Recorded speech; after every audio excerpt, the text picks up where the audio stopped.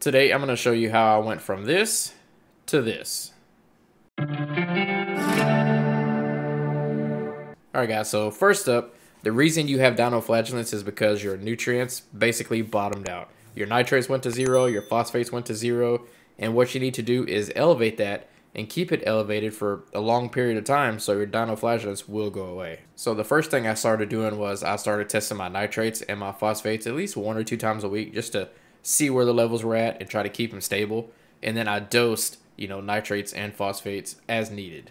I aim to keep my nitrates at about 15 to 20 parts per million and my phosphates at 0.07 to 0.15 ppm. Now to do this, you're going to have to make sure that you keep up with your testing routine and not be lazy about it because if you miss a week, your nitrates or phosphate could plummet and well, the dinos will just keep winning. The second thing that I did was I dosed phytoplankton daily. And for my 50 gallon total volume tank, I probably dosed eh, around 20 to 30 mils daily, which all I did was take the bottle out of the refrigerator, shake it up a little bit, and just pour a little bit into the tank. I didn't measure out anything. I just kind of dosed it by feel, which is perfectly fine. And along with dosing phytoplankton, I was also culturing copepods at the time.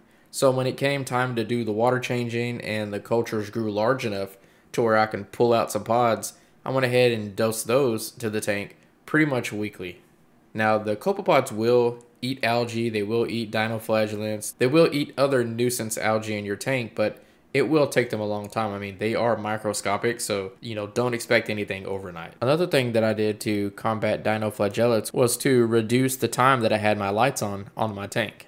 I went from 10 hours a day down to 6 hours a day. Now, I'm not entirely too sure if this actually helped for the dinoflagellates, but it definitely did help to slow the growth of some of the algae that I had in the tank. So overall, that's that's a win in my book. I also added my algae turf scrubber that I had on my 75 gallon tank several years back, and I could just see all kinds of nasty different algae and cyanos and and even some dinos growing on that little plastic sheet that's inside there.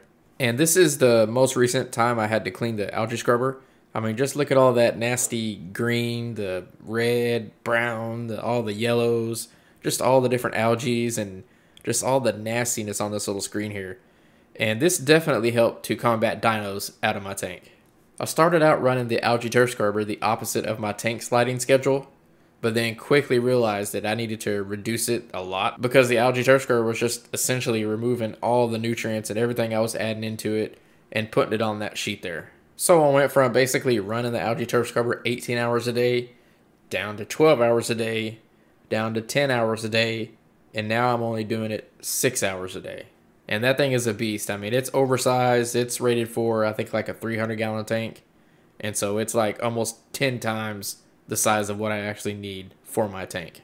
I also experimented with dosing bacteria to the tank, specifically Dr. Tim's Waste Away and his one and only bacteria as well as Microbacter 7 and even Vibrant. And the only reason I chose those was because that's just what I had. I didn't specifically go out and buy any kind of bacteria to specifically dose for dinos. I just used those because it's what I had. Now, I didn't do these regularly. It's just in the past, I tried the Dr. Tim's method to get rid of dinos. It didn't work. So I thought I might as well just try to dose several bacteria to kind of get a better biodiversity of bacteria in my tank to hopefully help with the dinoflagellates. So I really can't confirm if this helped at all, but I just thought I'd throw that in there as well. Once my sand bed started to get really bad with dinos, and I mean when the little strands were like five or six inches, I decided I'm gonna siphon the sand bed and have that water running straight to my filter sock. That way I'm not doing a water change, but I'm just siphoning it out all that nastiness that's on my sand bed. Now that did clear the sand bed quite a bit, but I was using a 200 micron sock. I wasn't using like a 50 micron sock. And even if I was using a 50 micron sock for the dinoflagellates and the water to flow through, I still don't think that would have helped out because dinoflagellates range from roughly about 15 to 40 microns in size. So they still would have went through the 50 micron sock regardless.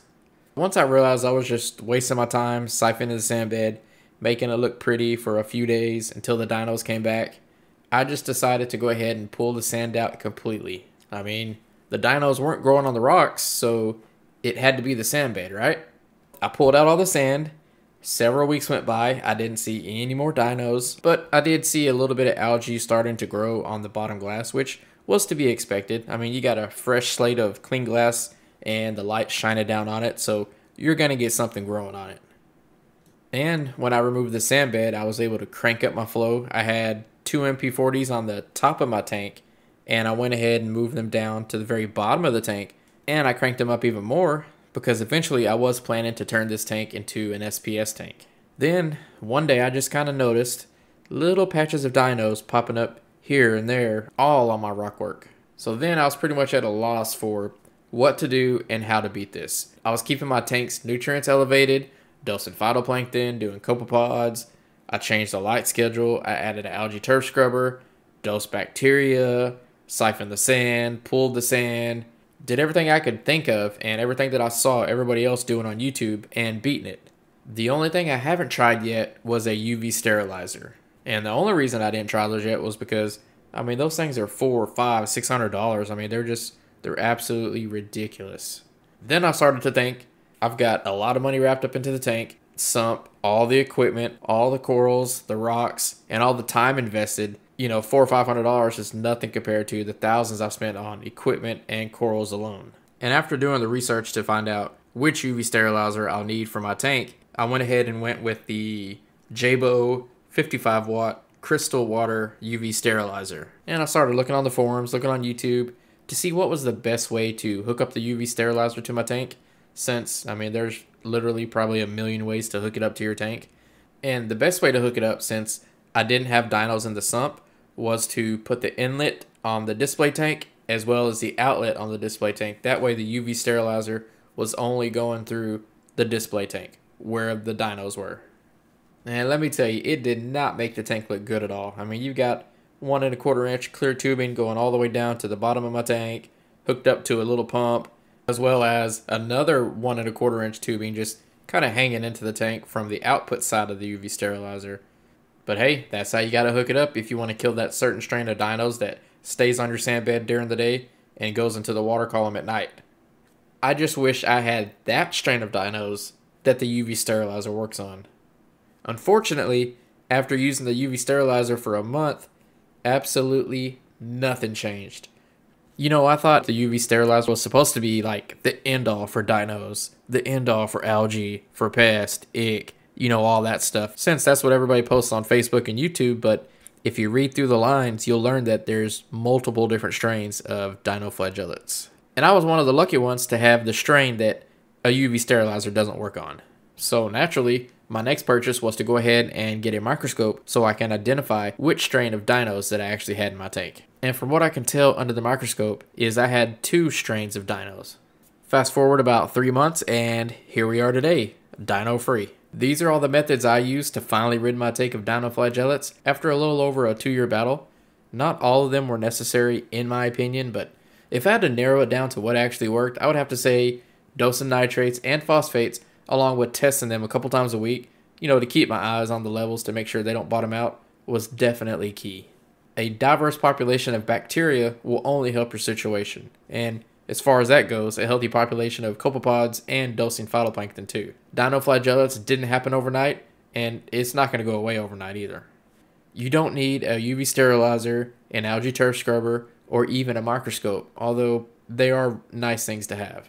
And if you want to support the channel, and pick up some of these things, I have compiled a list of exactly everything I've used down in the description below.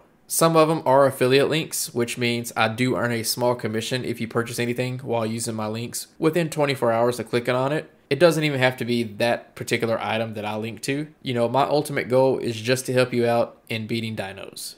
You don't have to buy anything to show your support.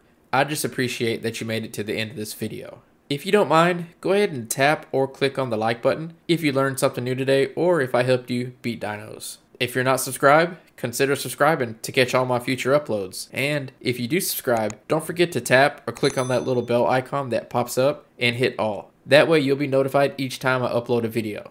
I appreciate you taking the time out of your day to listen to what I have to say, and I'll see you in the next one.